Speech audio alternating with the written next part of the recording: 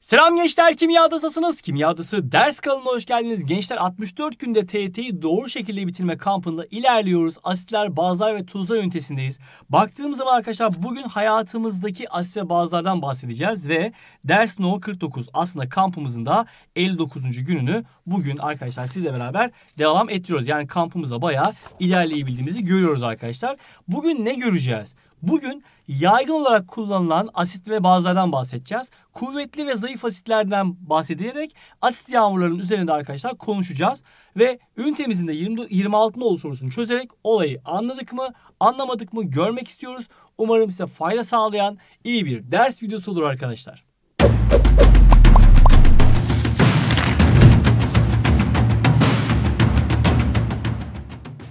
Aslında günlük hayatımızda pek çok maddenin içerisinde biz asitleri ve bazıları görebiliyoruz. Bunlar bizim için önemli maddelerdir arkadaşlar. Hayatımızı kolaylaştıran e, maddelerdir. Hayatımızda yani hayatımızda böyle bir şeyler üretirken kullandığımız maddelerden bahsediyoruz. Mesela nerede görüyoruz? Arkadaşlar temizlik maddelerinde görürüz. İşte sabunlarda görürüz değil mi baktığımız zaman? İşte deterjanlarda görürüz veya işte çamaşır suyunda görürüz. Sanayideki ürün sentezlerinde görürüz arkadaşlar. Mesela gübreydi, işte patlayıcıydı, işte akü sıvısı diyoruz mesela onlarda kullanıyoruz. Pek çok gıdanın işte düzenlenmesinde biz bunları görebiliyoruz.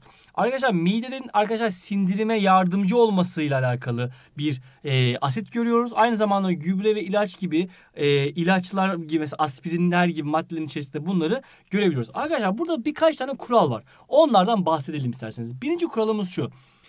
Biz bu maddeleri kullanırken aslında hiçbir maddeyi başka bir maddeyle karıştırmamamız gerekir. Yani şöyle diyelim arkadaşlar. Bak birinci kuralımız şu hiçbir asit başka bir asitle ya da hiçbir baz başka bir bazla veya asit ve baz başka bir maddelerle karıştırılamaz. Yani bilinçli bir şekilde işlem yapıyorsak eğer sonucunu biliyorsak olur ama biz bilmeden iki maddeyi işte bu asit bu da asit biz bunu karıştıralım dersek olmuyor. Mesela arkadaşlar tuz ruhu HCl değil mi? Mesela bu temizlik ürünüdür. Aynı zamanda arkadaşlar kezzap bu da arkadaşlar temizlik üründür. Biz bunları arkadaşlar karıştırırsak no e, pardon tem, e, kezzap diyorum. Çamaşır suyunu diyecektim. Sodyum hipokloriti e, ifade edecektim. Arkadaşlar bu tuz ruhu tamam mı? Bu da çamaşır suyu. İkisini biz karıştırırsak burada mesela daha güzel bir temizlik olmaz. Hatta açığa klor gazı çıkar ve bu klor gazı da zehirli bir gazdır. Sizi zehirleyebilir. Özellikle annelerinize falan bu konuda arkadaşlar yardımcı olun. Onlara rehberlik yapın. Şimdi ne yapıyorlar? İşte önce tuz ruhu döküyorlar. Sonra biraz da çamaşır suyu döküyorlar. Çok daha temiz olacak. Hayır öyle bir şey yok. Tercih etsinler ya tuz ruhu ya da çamaşır suyu. Yoksa arkadaşlar acile gitmek zorunda kalırsınız. Ya çok tehlikeli. Allah göstermesin. Klor gazı çünkü zehirli bir gazdır. Arkadaşlar mesela bir de şöyle bir şey var. Asitin üzerine su dökülmez. Yani çok önemli. Ee, biz mesela asiti seyreltmek isterse ne yapıyoruz? Suyun üzerine asit olur. Yani suyun üzerine asit e, eklenebilir. Yavaş yavaş asit çözeltisi asit dökülebilir. Ama direkt siz asitin üzerine su ilavesi yaparsanız o bir anda iyonlaşır ve aşırı miktarda saçılmalara ve ısınmaya sebep olur. Bak bu da çok önemli arkadaşlar. Mesela biz burada günlük hayatta kullandığımız başka başka birazdan tek tek göstereceğiz ama genel olarak şu an bakıyoruz. Öncelikle mesela lavabo açıcılarda kullandığımız maddeler var. Lavabo açıcılarda arkadaşlar baktığımız zaman Şimdi lavaboyu ne tıkar? Önce ona bakalım. İşte saçtır değil mi? Baktığımız zaman işte e, asitik salgılar bunu tıkar. Dolayısıyla biz buraya lavabo açıcı ne kullanabiliyor musunuz? Biliyor musunuz? Baz kullanırız. Yani lavabo açıcılar bazlardır diyebiliriz. Evet. E, Burada arkadaşlar mesela sodyum hidroksit, potasyum hidroksit gibi e, çözeltiler kullanılıyor. Onlar da bazlardır. Mesela bunu genel olarak bilelim tamam mı? Yani lavabo açıcı olarak asit kullanılmaz. Ki asitler de aşındırıcı olduğu için lavabolarınız aslında oradaki tesisatlarınıza zarar verebilir. Başka mesela arkadaşlar şunu söyleyebiliriz. Pas gidericiler. Mesela pas dediğimiz şey ne? Pas dediğimiz şey aslında demir oksit değil mi? Demir 3 oksit dediğimiz maddedir. E, bu madde arkadaşlar bazdır. Dolayısıyla pas gidericinin ne olması lazım? Asit olması lazım. Evet pas gidericilerde asitlerdir diyebiliriz. Peki başka ne kullanabiliriz? Mesela kireç çözeriz değil mi? Kireç çözmede bizim yani çok kullandığımız maddeler vardır. Özellikle kireç çözücülerde yani kireç dediğimiz şey de bazdır. Yani kalsiyum bileşikler, kalsiyum karbonat gibi bileşikler. Bunlar da bazdır. Dolayısıyla kireç çözücüler de yani kireci çözmek istiyorsak onlar da asit olmak zorundadır. Asitlerle biz e, kireçleri çözebiliyoruz. Yani bakın burada şu tabloyu bilelim. Zaten genellikle karşımıza çıkacak sorular bununla alakalı oluyor bu konuda. Şimdi ben özel özelde bazı asitlerin neye yaradığını veya bazı bazılarının neye yaradığını size söylemek istiyorum. Mesela sülfürik asit. İşte baktığımız zaman kuvvetli bir asittir. E, zaç yağı olarak mesela bu zaç yağı olarak da karşımıza geliyor değil mi? Daha önce biz bunu söylemiştik size. Akü sıvısı olarak kullanıyoruz ve sanayide kağıt, deterjan, boya, ile ilaç, gübre üretiminde kullanıyoruz. Bak burada zat yağı olarak yazmışız. Peki bu kuvvetli bir asit. Yani suda %100 iyonlaşır. Nasıl iyonlaşır? Hemen bakalım. Bak H artı ve SO4. Ama SO4'ün yükü eksi 2 ve 2 tane H artı veriyor. Yani tesir değerli 2. 1'e 2 şeklinde 1 mol sülfürik asitten 2 mol hidrojen iyonu görebiliyoruz. Mesela arkadaşlar yine hidroklorik asit yani tuz ruhu değil mi? Baktığımız zaman. Bu e, mide asidi olarak da gelir. Yani midedeki o asitliği yapan, parçalayan madde budur. Kuvvetli bir asit ve nasıl iyonlaştırıyoruz? H artı ve Cl eksi bir şeklinde biz bunu iyonlaştırabiliriz. PVC üretiminde ve bak pasın giderilmesinden ne demiştim hani hatırlar mısınız? Pas e, bazlı işte paslı biz ne yapıyoruz? Asitlerle gideriyoruz. İşte HCl mesela burada kullanılabilir bir asittir. Geleneksel adı tuz ruhudur ve PVC üretiminde de kullanıyoruz. Bakın hani polivinil klorür dediğimiz polimerler var. Onu da biz e, üretmek için bunu kullanıyoruz. Nitrik asit bakın kuvvetli bir asit. Buna biz kezzap da diyoruz. Temizlik üretimin, temizlik malzemesi üretim, e, temizlik maddesi aynı zamanda. İşte temizlik maddesi olarak sanayide bakın patlayıcı olarak ve gübre üretiminde. Şimdi bakın eğer bir yapıda size bir taktik daha vereyim. Eğer azot varsa, fosfor varsa, kükürt varsa bunlar arkadaşlar gübre üretiminde kullanıyoruz. Tamam? Unutmayın. Mesela bak şurada sülfürik asit var değil mi? Sülfürik asitte de var gübre görüyor musunuz? Ki akü sıvısı bu aynı zamanda. Hani araçlardaki akü var ya orada kullandığımız madde budur sülfürik asittir. Sülfürik asit çok yaygın maddedir onu belirtelim ama bir şeyin içerisinde azot varsa, fosfor varsa, gübre varsa bunlar e, yani kükürt varsa pardon bunları gübre üretiminde kullanıyoruz. Peki kuvvetli bir asit e, ne yapıyor? Yani %100 yoğunlaşıyor. Hemen ne yapar? H artı ve NO3 şeklinde biz bunu iyonlaştırabiliriz. E, kezzaptır e, genel adı. Peki devam edelim.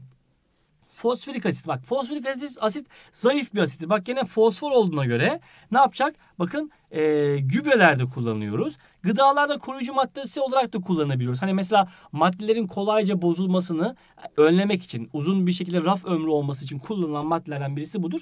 Zayıf asittir. Yani suda %100 iyonlaşamaz. İyonlaşma denklemini yazalım ama e, ne olur? 3 tane H artı artı fosfat eksi 3 şeklinde biz bunu yazabiliriz. Tamam mı? Bu şekilde yazılır. Evet.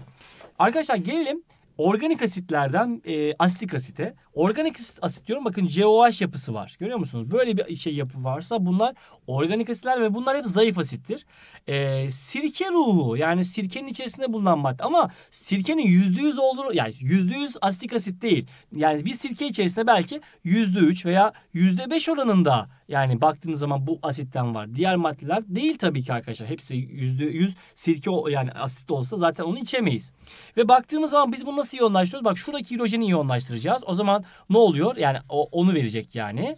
Şu kalıyor bakın. Diğer tarafta H kalıyor. O zaman bunun yükü artı bu da eksi. Bu şekilde biz bunu yazabiliyoruz. Peki devam edelim. Bak Sodyum hidroksit bu kuvvetli bir bazdır. Artık bazlara geçtik.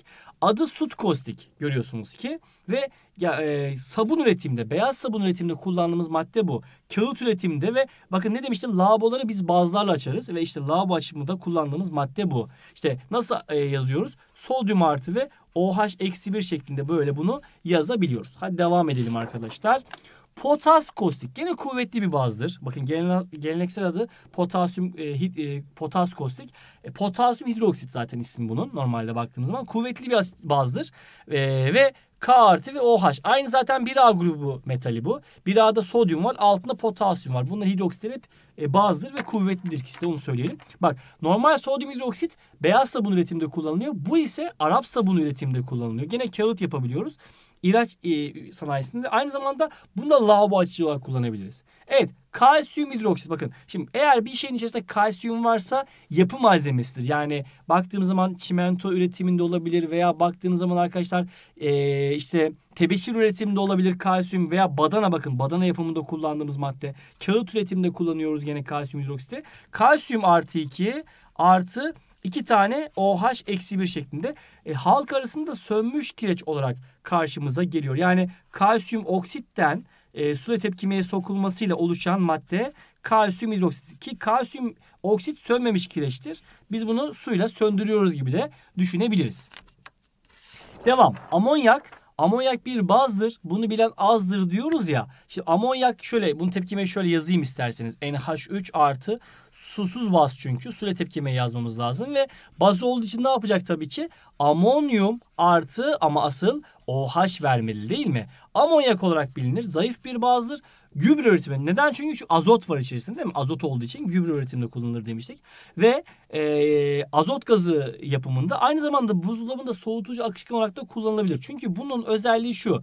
Bunlar arkadaşlar kritik sıcaklık dediğimiz madde ya her bir maddenin bir kritik sıcaklık değeri vardır. Kritik sıcaklık yüksek olmalı ve kaynama noktası da düşük olmalı. Evet bu özellik amonyakta olduğu için bu mesela soğutucu akışkan olarak kullanılabilir. Yani uygulanabilen basınç altında kolayca e, ne yapar arkadaşlar? Sıvı hale gelir. Tekrardan basınç etkisi kalkarsa buhar fazına geçebilir ve buradaki hal değişim etkisiyle ısı alışverişini sağlayabildiği için de ortamı soğutur veya e, ısınır. Hatta buzdolabının arkasının sıcak olması, buzdolabının için soğuk olması da bununla alakalı bir şeydir. Buzdolabının arkası sıcaktır değil mi? Çünkü neden arkadaşlar? O madde artık dışarıya ısı vermiş. Ama buzdolabı için soğuk. Çünkü neden? İçeriden ısı soğurmuş. O yüzden içerisini soğutmuş diyebilirsiniz.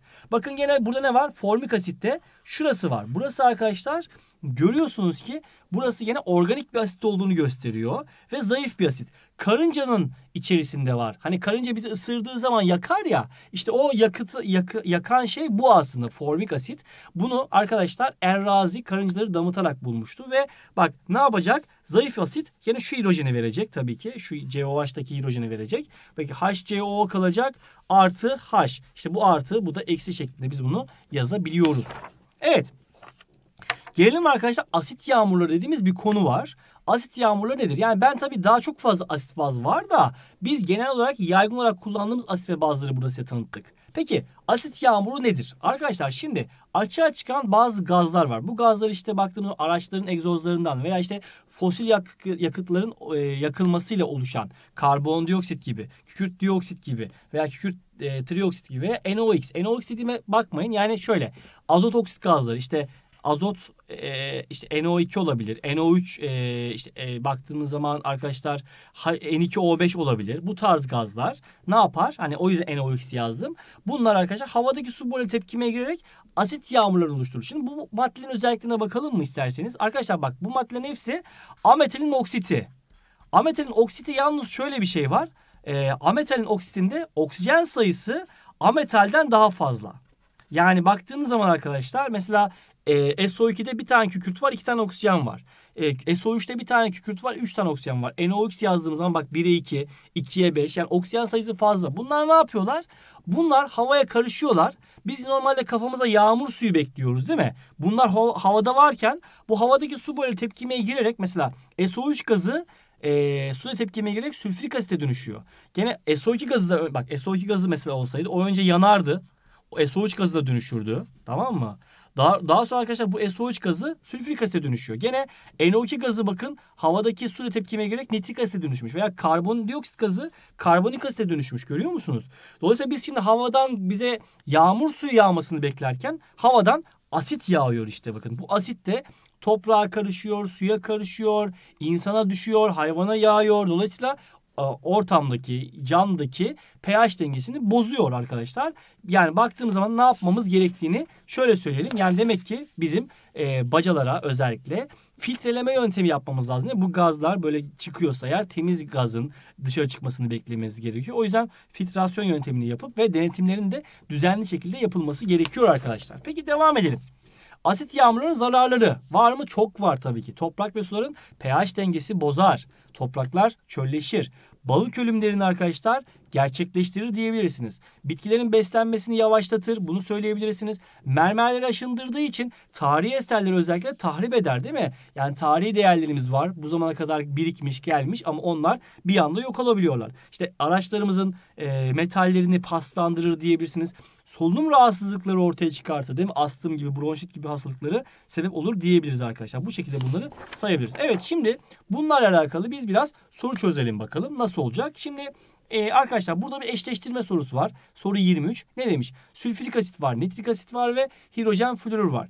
Ne yapıyoruz mesela hatırlayalım. Mesela sülfürik asiti biz hatırlarsanız e, arkadaşlar burada tabii ki patlayıcı üretiminde kullanıyoruz ama e, asıl deterjan sentezleme noktasında sülfürik asit direkt kullanılan bir maddedir. Tabii nitrik asit de azot olduğu için direkt bunu biz patlayıcı üretiminde kullanıyoruz. HV'de arkadaşlar e, cam işlemeciliği. Yani bakın e, normalde asit ve bazılar cam kaplarla saklanılır ama HV hariç. HV ne yapar? Camı aşındırır. Bak bunu burada söyleyelim. Camı aşındırdığı için biz ne yapamıyoruz? HV'yi cam kaplarda saklayamıyoruz. Onu daha çok böyle e, plastik kaplarda saklarız. E, metal kaplarda zaten asitleri saklayamayız. Bazıları saklayamayız. Onlar metallere tepkimeye girebilir. Hani biz genelde cam kaplarda saklıyoruz ama HV'yi cam kapta saklayamayız. O çünkü cam asididir hatta HV. Camı aşındırır için bunu söyleyebiliriz. Bakın. Devam. Evet KOH. Bakın KOH'a bakalım. Hemen bu nedir? Potasyum hidroksit ne yapıyor? K artı ve OH eksi bir şeklinde suya iyonlarını bırakır. Peki potas kostik dediğimiz şey evet doğru. Bu bazdır. E, baz olduğu için lavaboyu e, tıkayanlar genellikle asitik maddeler olduğu için baz kullanabiliriz ki potasyum hidroksit bunun için uygundur. Şimdi potasyum hidroksit arkadaşlar sabun üretiminde kullanılır ama Arap sabunu üretiminde kullanılıyor. Şimdi bakın ben burada yazayım isterseniz. Gene bu üniteden sonra e, hayatımızda kimya noktası var. Kimya her yerde ünitesi var. Orada mesela biz size formülünü veriyoruz. Mesela C17 H35 CO sodyum. Bu var arkadaşlar beyaz sabun tamam mı? Bir de şu var. C17 H35 COO potasyum. Bak bu bizim Arap sabunumuz. Arap sabunu üretiyoruz. Kimden? Potasyum hidroksitten. Bu ise nereden üretilir? Normal sabun. Beyaz sabun sodyum hidroksitten e, üretilir. Beyaz sabun aynı zamanda katı sabun ya da işte baktığımız zaman e, normal sabun diye bakıyoruz. Arap sabunu yumuşak sabun olarak e, karşımıza gelir. Beyaz sabun bu arada sert sabun diye de e, bazı kaynaklarda çıkabilir. Onu söyleyelim. Arap sabunla üretiyoruz. Beyaz sabun üretemeyiz sonuçta. Cevap da bu durumda 2 ve 3 olacaktır. Hadi bakalım devam edelim arkadaşlar. Görüyoruz burada bir e, resim var. Resimde çok kötü bir görüntü var. Yani fabrikadan e, kötü kötü pis pis dumanlar çıkmış ve demişiz ki bir bölgeye istihdam sağlamak için pek çok sanayi tesisi kurulmuştur. Güzel. Burası güzel. Aradan geçen belli bir zamanla ardından çevrede bulunan antik şehir kalıntılarındaki ki bakın yani yanlış yere koymuşlar aslında. Yani antik şehir kalıntılarının olduğu yere sanayi tesisi kurulmaz. Kuruluyorsa da zaten denetlemelerin çok güzel yapılması gerekiyor. Neyse bazı, bazı tarihi eserlerin aşınmaya başladığı görülmüştür. Bunun üzerine çevre araştırmacıları fabrikalardan çıkan gazların havadaki su buharı reaksiyonundan asit yağmuru oluşturduğunu ve fabrikaların filtrelerini mutlaka çalıştırmaları gerektiklerini raporlamışlardır. Evet. Buna göre burada bakın birkaç tane madde var. 6 tane madde vermişim. Hangileri çevreye salınıp asit yağmurları oluşturduğu söylenebilir. Şimdi arkadaşlar baktığımız zaman SO2 evet. Yani asidik oksit. Bakacaksınız olaya asitik oksit bakacaksınız. Asitik oksit neydi? Ametalin oksiti. Ametalin oksiti diyoruz ama e, kimdir ametaller? Önce ona bakalım. Hacı, hidrojen karbon, e, sinop, e, kükürt, iyot, azot, oksijen, fosfor, flor, klor, brom. Bak bunlar ametal. Bunların oks oksiti yalnız oksijen sayısı fazla yani e, ne olacak? Oksijen sayısı ametalden fazla olacak. Onu söyleyelim. Şimdi arkadaşlar burada baktığımız zaman bak kükürt ametal ama bir kükürt var iki oksijen var. Bu uygun. Karbon monoksit arkadaşlar direkt bak bu nötrdür. Onu söyleyelim. Neden? Çünkü karbon bir tane oksijen bir tane onu alamayız. Azot, diazot pentoksit evet iki tane azot beş tane oksit evet e, ametalin oksit uygun. Bunu da artı bak bunu da artı koyalım. Oksijen zaten e, yani tek başına olmaz. Bu e, o havada olan gaz. Karbondioksit uygun. Bu zayıf asit olan karbonik asite dönüşse de sonuçta asit yağmuruna sebep olur. N2O bakın burada yine buna nötr. Çünkü iki azot bir oksijen. Yani burada ametal sayısı oksijen sayısından fazla gelmiş biz. Oksijen sayısı ametal sayısından fazla olmasını bekliyoruz, istiyoruz. Bunu da alamayız. O zaman 3 tane var arkadaşlar. Burada onu da belirtelim. Şimdi gelelim burada başka bir sorumuz var. Ünitemizin 26. sorusu. Hani dersin başında atladığımız bir soru vardı. Şimdi burada hangileri asit baz tepkimesidir diye soruyoruz. Şimdi bakırdan yapılmış kapta kezzap taşınması. Şimdi arkadaşlar burada şimdi bakır bir metal değil mi? Kezzapla tepkimeye girer mi? Evet girer. Çünkü neden? Bakır dünkü dersimizde ben size söylemiştim ki yarısoy metaller oksijen asitler tepkimeye girer. Ama bu asit baz tepkimesi değil. Bu metal asit tepkimesi değil mi? Evet. Yarısoy olan bir metalle asit tepkimeye girer ve burada NO2 veya NO gazı açığa çıkar. Onu söyleyeyim ama bu asit baz tepkimesi olarak değerlendirilemez. Bu gitti. Şimdi çaydanlıktaki tortuların sirke kaynatılarak giderilmesi. Şimdi çaydanlıktaki tortu zaten ka- e, karbonatlı bir şey. E, kalsiyum karbonat bu bazdır. Sirke de asittir. Dolayısıyla asit baz tepkimesi evet doğru. Lavabo tıkanıklıklarının kostikle giderilmesi. Şimdi lavabo tıkanıklığına oluşan madde asittir. Kostik madde zaten baz. Asit baz tepkimesi. Kostik demek baz demek doğru. Limon damlayan mermer tezgahının aşınması. Şimdi limon demek asit demektir. Mermer demek baz demektir. İçerisinde karbonat var. Doğru bazdır. O yüzden bu da asit baz tepkimesi. Dolayısıyla burada 2, 3, 4 yani burada arkadaşlar 3 tane görüyorsunuz asit baz tepkimesi vardır. Evet inşallah anladık değil mi? Şimdi arkadaşlar ben size ödev vereceğim. Dün de vermiştim. Dünkü ödevleri yaptınız inşallah. Evet dünkü ödevlerimize ne vermiştik? Asit baz tepkimelerinden sayfa 168'den 171'e kadar vermiştik. Bugün ise arkadaşlar 172'den 175'e kadar. Yani hayatımızdaki asit baz e, burada yaptık zaten. Hayatımızdaki asit ve bazlarla alakalı soruları mutlaka yapıyorsunuz arkadaşlar. Yani test 6'ya kadar e, yapalım olur mu? E, bunları yaparsak bizim işimize gelir diye düşünüyorum. Yarın da çünkü tuzları anlatacağım. Yarın daha çok bol ödev vereceğim sizlere. İnşallah anlamışızdır arkadaşlar. İnşallah sıkılmamışızdır. Sürçülisan ettiysek affola. Devam edelim. Kendinize iyi bakın. Görüşmek üzere.